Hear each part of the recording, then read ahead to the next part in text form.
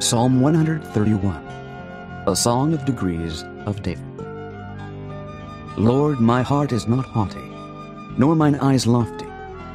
Neither do I exercise myself in great matters or in things too high for me. Surely I have behaved and quieted myself, as a child that is weaned of his mother. My soul is even as a weaned child. Let Israel hope in the Lord from henceforth and forever.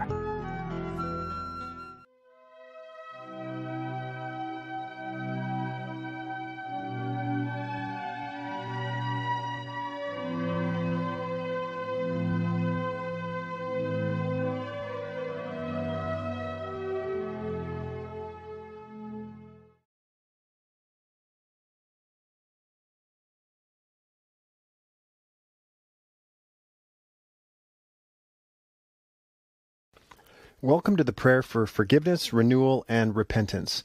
This is simply a video I've put together where I like to pray for anyone within the sound of my voice. All I ask you to do is to agree with me as we seek our Heavenly Father together. Please continue to meditate on this prayer for yourself, speak it daily, or listen to this video over and over again, and allow the Word of God concerning forgiveness, renewal, and repentance of sins to reach deep into your spirit. Let us pray. Heavenly Father, we gather together here online and come into agreement in the wonderful and powerful name of Jesus. Where two or more are gathered, there you shall surely be. And anything we agree upon as touching you will surely do. The Bible says that if there's any unforgiveness, that it should be dealt with before praying. Therefore, we release any anger, bad feelings, resentment, or any other wrong attitude before you now. We lay it at your feet and we release and forgive those who have wronged us. I lift up those watching this video, and we come into agreement and lift up forgiveness, renewal, and repentance. Father, your word says that if we ask for mercy and for forgiveness, you will forgive us and cleanse us from all unrighteousness purely on the basis of the promises of forgiveness in your word, with all feeling aside, we believe that the listener is forgiven. Humbly they come before your throne to receive this grace and mercy. Help the listener to forgive themselves and let the past go. We declare in agreement that Jesus is Lord over the listener, and if they believe in their heart that you raised him from the dead, they will be saved, with heaven being their eternal home. We receive it and we praise you, Father. Help the listener's unbelief. Their slate is wiped clean right now. In the face of any feeling of guilt and unworthiness, the listener receives their forgiveness from you.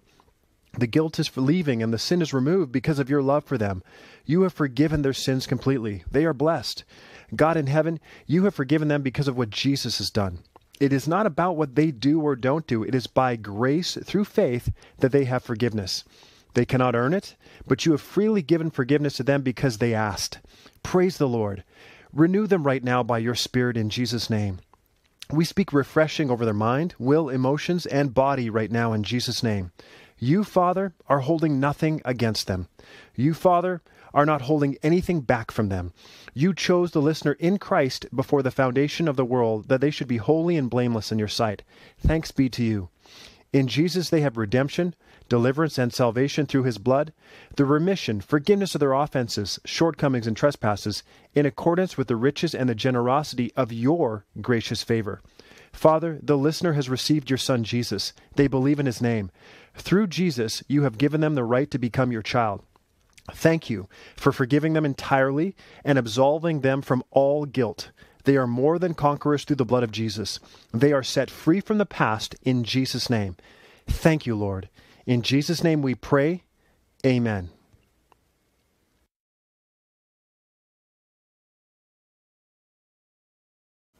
Welcome to the Prayer for Salvation. This is simply a video I've put together where I'd like to pray for anyone within the sound of my voice. All I ask you to do is to agree with me as we seek our Father God. Choosing to receive Jesus Christ as your Lord and Savior is the most important decision you will ever make. Remember, it's not about how you feel after you pray. When the Bible says it, that settles it, and God promises to save you when you ask. God's word promises, If thou shalt confess with thy mouth the Lord Jesus, and shalt believe in thine heart that God has raised him from the dead, thou shalt be saved.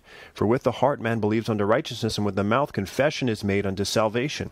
For whosoever shall call upon the name of the Lord shall be saved.